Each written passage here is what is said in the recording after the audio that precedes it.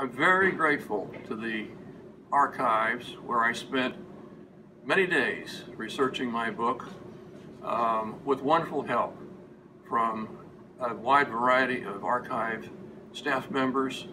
And I'm grateful for today and for all of the work that you do maintaining the archives for the United States and our citizens. Thank you very much on this special day for you. Teaching history my entire life, I've dedicated my life to history. And coming down here and having the opportunity to experience it, to see it, to smell it, and to be within inches of it, it is by far the coolest experience of my entire life. I can't imagine there's anything more, so I just want to thank everybody at the National Archives. Uh, I appreciate everything you do. I know every history teacher and history lover appreciates everything you do, and you allow me to do what I do. So I just want to thank you guys so much.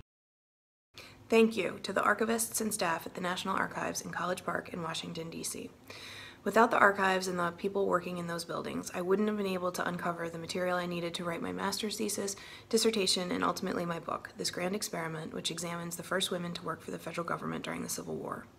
Without the help of archivists like legislative archivist Rod Ross in D.C., I wouldn't have been able to uncover petitions signed by hundreds of female federal employees, many of whom were asking for equal pay for equal work much earlier than we had previously thought.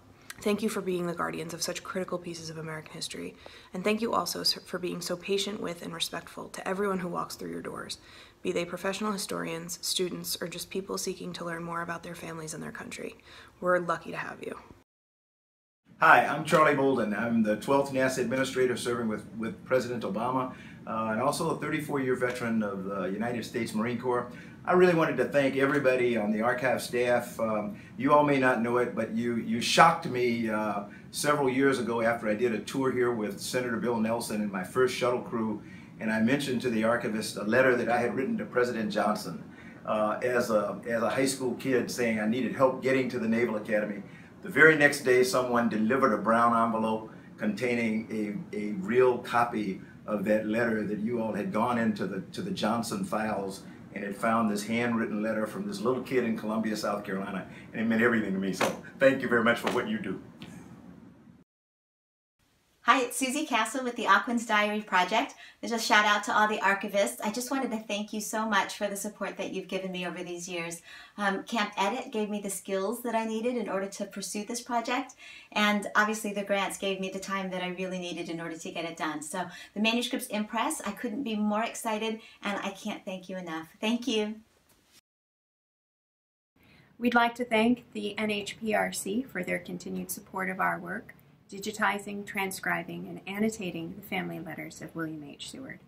Your financial support through the Literacy and Engagement with Historical Records grant has fostered connections between the university and Rochester's senior community that have opened up new scholarship and richer conversation about the Seward family. This is a thank you from the Papers of the Revolutionary Era Pinckney Statesmen of South Carolina uh, I'm Connie Schulz. I'm the project director. I'm Mary Scherer. I'm the associate editor. And the NHPRC funds support Mary's salary, so we're both Thank very you. grateful. Thank you. Um, 25 years ago, I was a member of the NHPRC Commission, and now it's my privilege to have a project that is funded in part by NHPRC and another part by NEH, and we thank you. I found out from a friend that the archives is doing, uh, beginning to scan the records of the Coast Guard ships that served in Vietnam. I was on one of those ships in 1967. When I found out about this, I was very excited, and I said, yes, I'd like to come and scan records. So about a week ago, I came in, started scanning the records from the ship that I served on, and it was pretty astounding to open up the first log page on for July 1st, 1967, and see my name there. I was the watch officer at that time. We were underway in Vietnam in Area 6, and I've only gotten through two months of the Yakutat's service in Vietnam. I want to come back and keep working and, and complete scanning all the, the Yakutat's records. I've thoroughly enjoyed it, and I feel like I'm a part of history. I saw my name historically captured 50 years ago, and it's pretty neat to be able to see that. Hi, I'm Joseph Janes. I'm an associate professor in the University of Washington Information School, and it was my great honor and privilege to speak last fall at the archives uh, about my most recent book, Documents That Change the Way We Live. As someone who studies historic documents and their cultural impacts, I've benefited a lot from the many digitized collections and supporting materials uh, from the archives, from the check that purchased Alaska, the Zimmerman telegram, the 19th Amendment, the Zapruder film, lots of different objects, lots of different formats. So I want to say many thanks to all the folks who've worked behind the scenes to make all of that kind of material more available, more accessible to more people. We really appreciate it.